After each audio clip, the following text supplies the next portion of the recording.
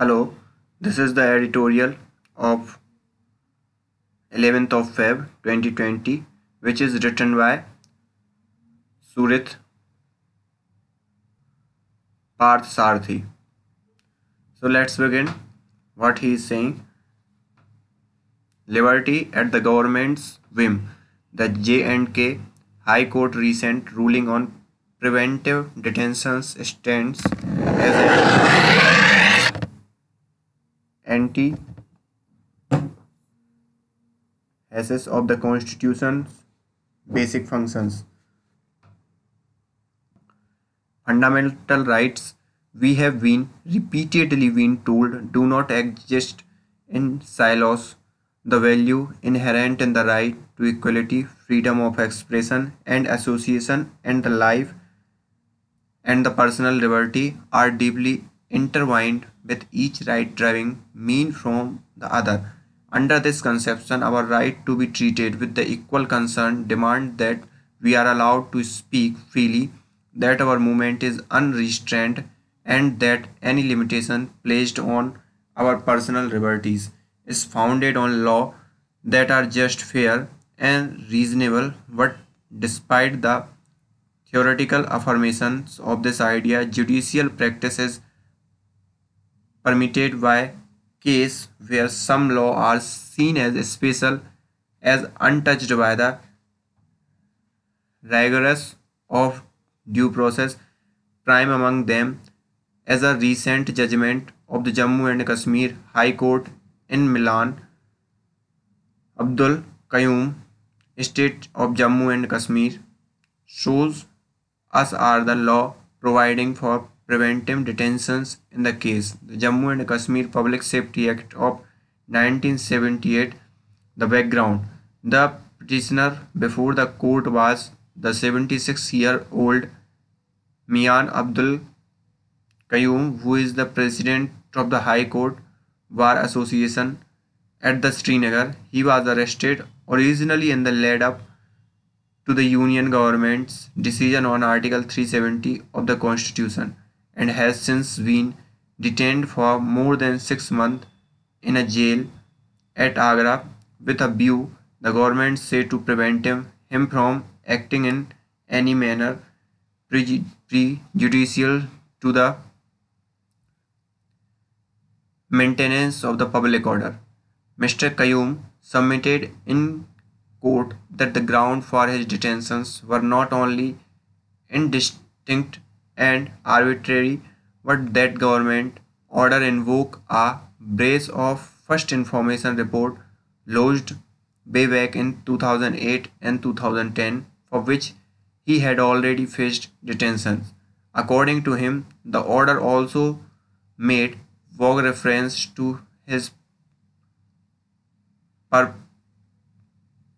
purported advocacy of the secessionist ideology without in fact specifying clarity whether there was a, at all criminal charge placed against him. What is more, the detention he submitted did not take an, into account his rapidly deteriorating health according to his family as a report in Hindustan Times stated Mr. Qayyum not only else from the diabetes and heart problem with a doctor having advised an open heart surgery just before his detention but he is also surviving on only one kidney. The High Court in its judgment opened with the now customary panegyric of freedom, the right to personal liberty, wrote Justice Tashi Rabstan is the most precious right. It has been held, he added, to the trans transcendental, inalienable, and available to person independent of the Constitution, and the right is not to be denied except in accordance with the procedure established under the law and the procedure as held in Maneka Gandhi, Maneka Gandhi Union of India had to be just and fair. A stand-alone law. A person unacquainted with the working of our judiciary would hardly be mistaken in thinking that the court having appealed to the power of liberty without the render its finding on whether the detention in question was justified as a matter of both law and fact what the court herein what has become an, an increasingly familiar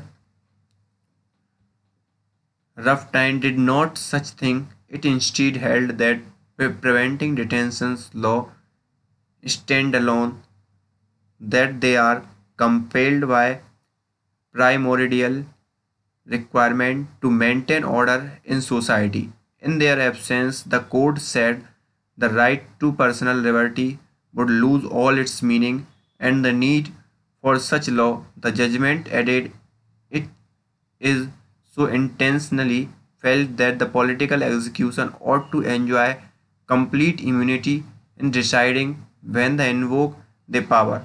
The court cannot substitute its own satisfaction for that of the authority concerned and decide whether its satisfaction was reasonable or proper, wrote Justice Rabstan, or whether in the circumstance of the matter the person concerned should have been detained or not. All that judge could do, he said, was see whether the state ground regardless of whether they are in fact credible or not, where some nexus with the objective of law guarantee reduced to trifle effectively.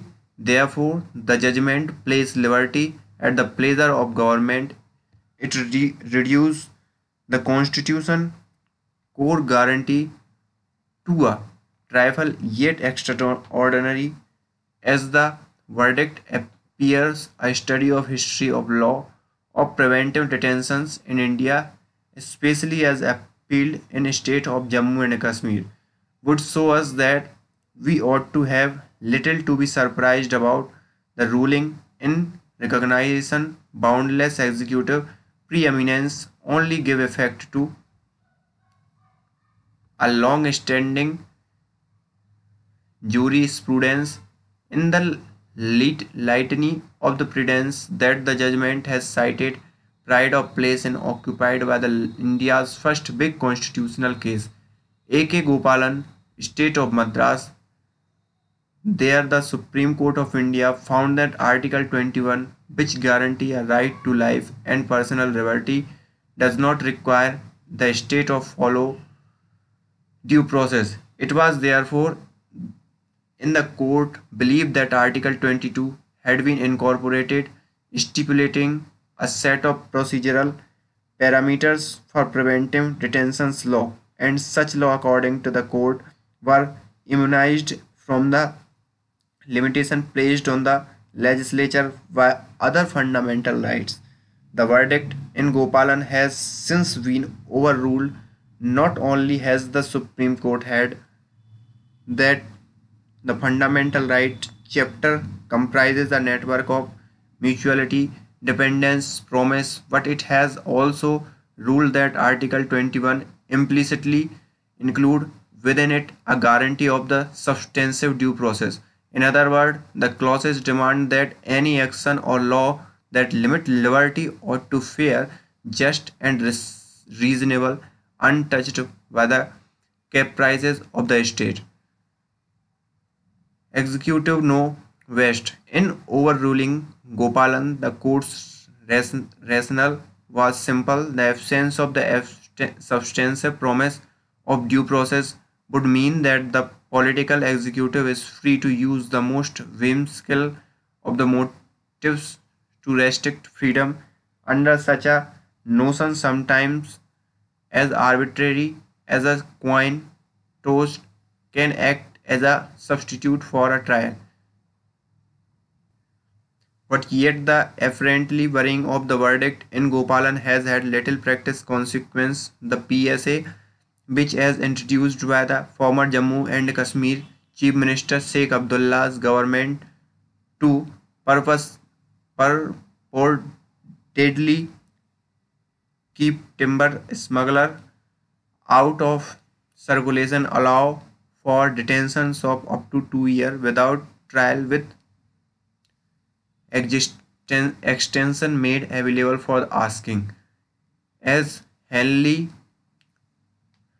Dutch सिंकी and Sreemoyee Nandini Ghosh have noted in permitting detention based on the postulation that are protected from review by court the law establish abroad jurisdiction of suspicion even the supreme court in Jaimala home secretary government in Jammu and Kashmir describe the legislation as a lawless and warned of the looming danger in which normal criminal trial would be replaced by regime of detention. But ever since its enactment the PSA has served precisely this purpose. It has been used by successive governments to quell even the slightest hint of the distance. And when review of the order is sought court have invariably followed the model that has now been adopted in Mr. Qayyum's case and assumptions that executive know best and the any decision made by it's beyond the scope of judicial inquiry. The only thing transcendental about the approach is omnipotent supremacy of executive in reducing judicial review to irrelevance. The judgment therefore stand as an antithesis of the constitution basic functions to understand the dangerous inherent investing unbridled power of this kind. We do not need to see J and K as exemplifying a state of exception, nor do we need to apprehend that the model employed will likely be adopted in other states. For as Gopalan, lawyer M.K. Nambiar told the Supreme Court all those years ago, no amount of fine phrasing can disgust the fact that detentions with the trial repugnant to the universal conscience of the civilized mankind. So this is all about today's editorial. I hope you enjoy. Thank you.